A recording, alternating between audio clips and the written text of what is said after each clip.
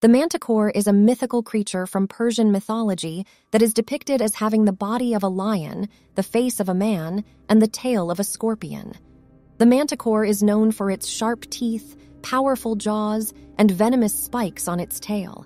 According to legend, the manticore would use its tail to paralyze and kill its prey before devouring it. The manticore is often associated with themes of danger, power, and the unknown depths of the natural world.